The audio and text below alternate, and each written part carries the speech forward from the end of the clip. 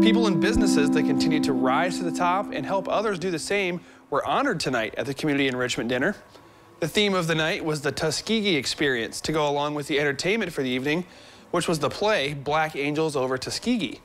The annual event raises money to fund programs that support diversity and inclusion in the Lima region, but it also recognizes the people and businesses in the area that are working to support those same ideas and has helped this community become what it is today.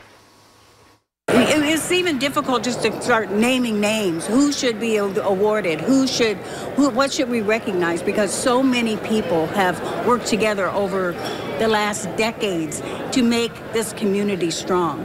And so this is just like we're opening this, this huge box of wonderfulness that has always existed in this community but never had their song sung. And that's what we're doing tonight. Besides the people and businesses that were recognized with the Community Enrichment Awards, there were others that got Red Tail Courage Awards, which was named in the honor of the brave Tuskegee Airmen who overcame so much to fight for the United States in World War II.